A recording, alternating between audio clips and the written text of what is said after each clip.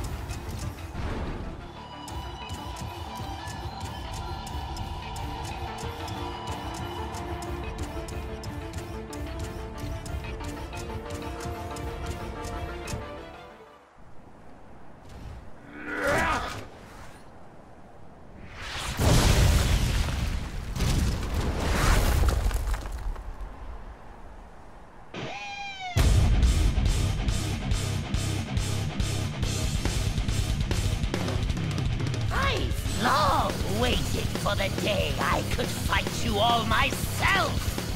Prove my worth to Megatron! Don't make me embarrass you!